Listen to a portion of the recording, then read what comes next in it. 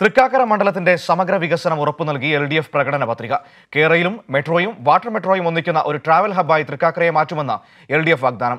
തൃക്കാക്കര മണ്ഡലം election committee ഓഫീസിൽ നടന്ന ചടങ്ങിൽ L D F convener E P Jayarajan പ്രകടന പത്രിക പുറത്തിറക്കി.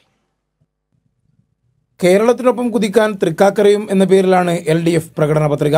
കേരളയിലും മെട്രോയും വാട്ടർ മെട്രോയും ഒന്നിക്കുന്ന ഒരു ട്രാവൽ ഹബ്ബായി തൃക്കാക്കരയെ മാറ്റുമെന്നാണ് വാഗ്ദാനം. വിനോദ വാണിജ്യ കേന്ദ്രമായി തൃക്കാക്കരയെ മാറ്റാൻ ബ്ലിസ് സിറ്റി പദ്ധതി യാഥാർത്ഥ്യമാക്കും. മുഴുവൻ കുടുംബങ്ങൾക്കും കുടിവെള്ളം മാലിന്യമുക്ത പ്രദേശമാക്കും. കാക്കനാട് ജില്ലാ ആസ്ഥാനത്ത് ആധുനിക സൗകര്യങ്ങളുടെ സർക്കാർ ആശുപത്രി എന്നിങ്ങനെ നിരവധി ഉറപ്പുകളാണ് പ്രകടന പത്രിക മുന്നോട്ട് വെക്കുന്നത്. തൃക്കാക്കരയെ ലോകശ്രദ്ധയാകർഷിക്കുന്ന പ്രദേശമായി വളർത്തിയെടുക്കുമെന്ന് പ്രകടന പത്രിക പുറത്തിറക്കിയ ശേഷം L D F convener E P Jayarajan പറഞ്ഞു. ഇവിടുത്തെ ജനങ്ങൾ അനുഭവിക്കുന്ന പ്രശ്നമാണ് ഗതാഗത കുരുക്ക് ഗതാഗത കുരുക്ക് ഒഴിവാക്കാൻ.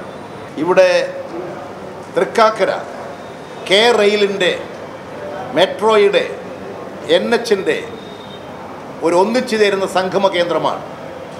ഇതിനെ ഉപയോഗപ്പെടുത്തിക്കൊണ്ട് ഫലപ്രദമായ നിലയിൽ ഒരു ഹബ്ബാക്കി ഉയർത്തി ഗതാഗതക്കുരുക്ക് ഒഴിവാക്കാനുള്ള എല്ലാ നടപടികളും സ്വീകരിക്കും.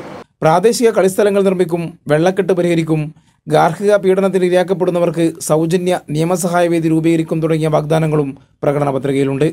തൃക്കാക്കരയുടെ വികസന മുരടിപ്പിന് കാരണം യു ഡി എഫ് ആണെന്നും ഇ പി ജയരാജൻ പറഞ്ഞു. മന്ത്രി പി രാജീവ് ഉൾപ്പെടെയുള്ള എൽ നേതാക്കൾ പ്രകടന പത്രിക പുറത്തിറക്കിയ ചടങ്ങിൽ പങ്കെടുത്തു. കൈരളി ന്യൂസ് തൃക്കാക്കര.